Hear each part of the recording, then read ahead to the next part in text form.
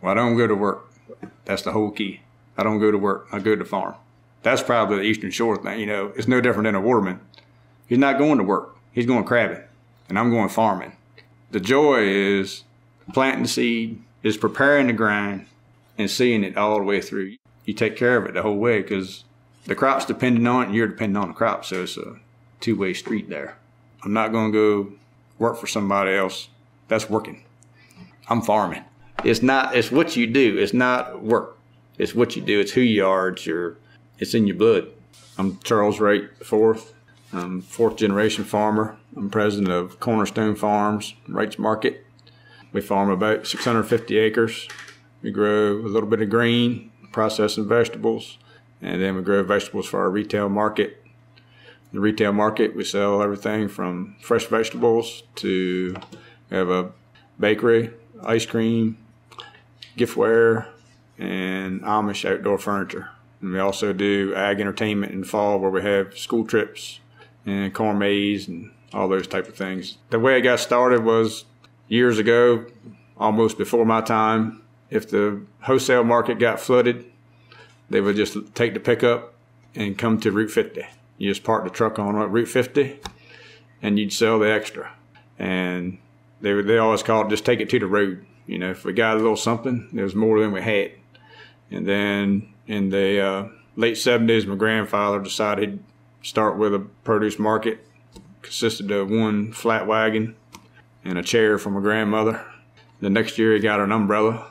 And since then, it's been expanding. Vegetables are meant to grow on sand. They're not meant to grow in clay. And I believe it's the, the temperate climate, the soil type. It's, it's got to be in the soil type for to give that that flavor and that the crisp part. I think most of it's in our soil type for the flavor. The Eastern Shore, I mean, it's God's country because it's home, number one. I mean, my family settled here in the 1700s, so my roots are deep. You know, the farmers are we're the stewards of the soil.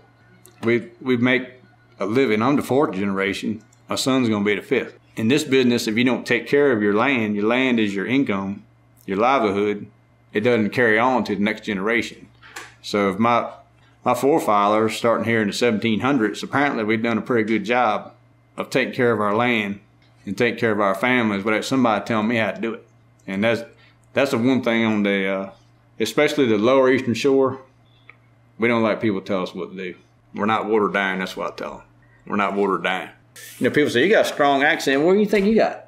You know, it's no. Uh, you think that's normal?